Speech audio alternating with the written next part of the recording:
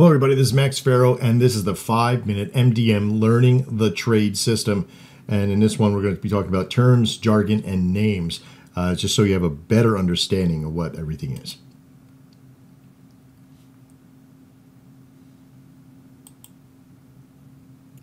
All right, so in this network of trading the five minute, there's two major ways to trade it. We're going to be using a market price using the signal direction and the market price at the money okay? And we're going to be using a signal strike, okay? There's also another way, using it as a signal strike, and we're going to trade it at the alert signal indicative price. If there is a price available, then get in. If not, no trade. If you're unsure of anything I just said, it's because you don't know the terms yet that are sitting in front of you. What market price is, what ATM is, what signal strike is. So let's learn what they are first, and then we can get in trading the two major ways. So let's cover this. A put and a call, indicative price, spot forex, market and profit price, ATM, OTM, ITM, working orders, and drawdown. These are all terms that you're going to hear on a regular basis through the process. And you need to know what each one of them are because the knowledge is what's going to protect you. If somebody tells you that you're OTM on the price, you need to know what that is. You need to know what it looks like when you're in about to trade it, and you need to know how to avoid it like the plague. You also need to know what the market price is with the profit price so you don't get that confused on what's profit, in the money, out of the money, and all that kind of good stuff. And you need to know what the drawdown is so you don't get covered up in a bunch of losses. First off, let's talk about the common knowledge of what a put and a call is. In the indicator network, when an alert comes up, it's referred to as put and call. These terms were adopted by binary networks, networks a, a long time ago. Uh, put equals the sell side on the indicator, and on Nadex it's referred to as the bid side, usually the left-hand side. The call is equal to the buy, so you're using a buy signal on the indicator, and on Nadex it's referred to as the offer side. This is very important. So one is the down and one is the up. Okay, so there's another term in there for you. The indicative price versus the spot Forex price. Nadex uses an indicative price structure for its exchange, meaning they take the last 25 spot Forex prices that you find on your, uh, your charting system or your MetaTrader 4 system and do an average of the middle 15. I know this prevents a lot of price swinging and whiplashing, but it seems very confusing, right? So basically, your price of the indicative is going to be about two pips higher than the price that you're going to see in MetaTrader 4 on our charting system. So you always have to know that the price on Nadex for the indicative price, the price of the pair, is always going to be higher than what you see, usually between 1.8 to 2 pips um, in general. The profit price and market price are very important to know what they are. Okay? The market price sets the profit amount, and we want to be able to show you what that is here. And I'll, and I'll show you here in a second. Okay? A sell side on Nadex is always the amount that you can profit. Okay, when you're buying a contract. Okay, so if you're buying it for if you're if you're purchasing the sell side, okay, for $35, that's what's your risk, that's what you're going to be able to make from it. If you're purchasing a buy side, then it's what you risk. So if it says $65, that's what you're going to be in there risking. So sells are easy to figure out because it, it tells you automatically what your profit's going to be. And buys, you got to use a little thing called math to be able to help you out. ATM, OTM, and ITM. Oh my. We've talked about these before, but in this particular case, these will refer to the price of the indicative compared to the statement and if the statement is considered true or false. Now, I know this might seem a little bit confusing, but you'll find out here in future videos exactly how these work. ATM stands for at the money. This is where the indicative is between the two strikes in reference to. So if you have one particular strike that's available and the one above it, if the indicative price is between the two, it's referred to as ATM.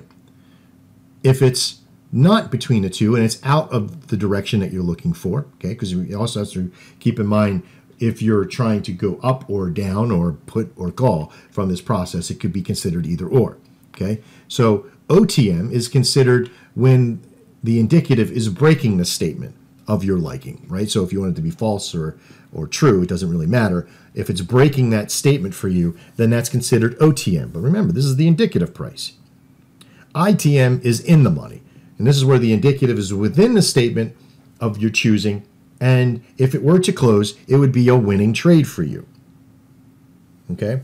So if it were to expire, it would be a winning trade. OTM, if it were to expire, you'd be a losing trade. And also, an ATM, if it were to expire, would be a winning trade. So ATM and ITMs are your best friend, while OTMs, if they expire, are your worst enemy. Just as a quick overview, an ATM is your bread and butter of this network, and that's what we're going to be using to trade with here um, in this five minute system. The market price that we want to see for an ATM trade is simple profit margins per contract between 35 to $45. Anything less or more would be fringing on the rules and may lead to unexpected results. The reason why we choose $35 is because that we know that if you lose because if you're if you're going to profit 35, you're risking 65. So if you lose this trade, you're going to lose $65. And it only takes one winning trade to get about halfway or more to getting back to in the profit. So you would win two trades. You would be back into profit winning $70 over a $65 loss. You'd be in profit five or six bucks. You see? Or basically breaking even right around an area after fees. You're getting them closer to the 45 area, one trade could actually get you really, really close to it while the other one puts you in a very nice, comfortable profit. OTMs are no-nos, of course. It's not very reliable and far and few between and creates more risk. Even though it has a higher ratio of profit, it still takes a lot of trades to make this system work. Contracts that show above $50 per contract could be considered OTM trades at that point, okay? Because keep in mind, your market price and indicative price where it's located will be in reference in the very beginning of the trade. If it's an OTM indicative, then that price, that market price might be above the $50 profit margin. Remember, sell side or bid side or offer side, depending on which side you're going on. So if you're if you're getting trades between under $34 for profit margin, between 25 and 34, you're deep into the ITM, the in the money, right? And it is a little bit higher risk to be able to be in there. So if you're trading at $25 per contract, you're risking 75. It would take you 3 trades just to break even with a fourth trade to get into profit. I wouldn't want to trade anything under 25 in this 5-minute system. So keep that in mind. Avoid those trades that don't have the money on that you need. Remember, you just got to wait five more minutes for another opportunity to come around. Working orders. This term means that you have placed an order or a statement and it's being made available, which will go down to your working order section, and that it's working on it. So that's why that's how I remember that it's becoming a work that it's a working order. When using the working order, you must be careful. There are some challenges when placing a working order, and in the future lessons, you'll learn how all about these very quickly. The drawdown. Now, again, I say this all the time. It's going to be the name of my first book, Surviving the Drawdown. But the drawdown meaning how far your account will draw down from losses at any one time. For this type of trading in this five minute series, you should never be drawing down more than three losses at any one time. Okay. And if you're averaging about $50, $53 a risk amount to $65, you don't want to be below 159 to $180 at any one particular time.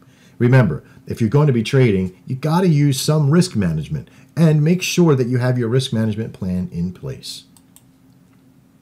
Okay, we talked about the terms and some of the jargons and some of the names. Now, in future videos, you'll learn how to put all those together and you'll start referencing the names to the actual locations of the things that we just referred to. If you have to watch this video a few times, I understand, but get in and start doing and you'll start to fill in the blanks. All right, I'm Max. This is Dex. Look forward to seeing you inside. And as always, trade well.